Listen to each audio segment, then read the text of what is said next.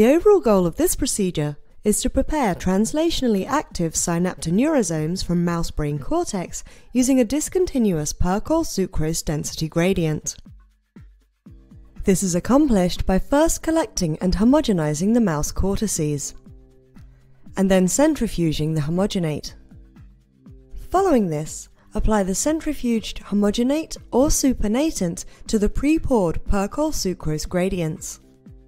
The final step is to centrifuge and collect the synaptoneurosome fraction.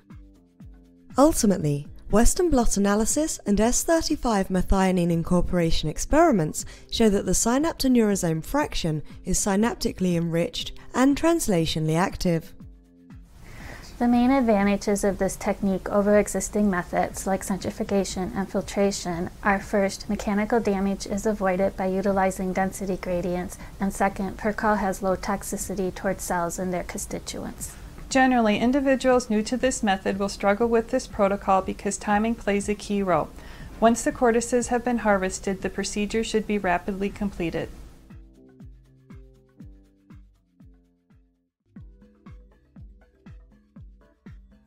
To begin the procedure, prepare the 3, 10, 15 and 23% gradient layers by adding the respective amounts of SIP as described in the accompanying manuscript to GM buffer and mix well.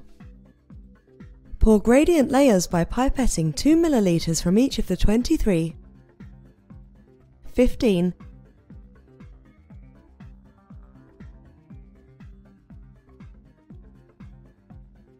10 and 3% isoosmotic Percoll solutions into the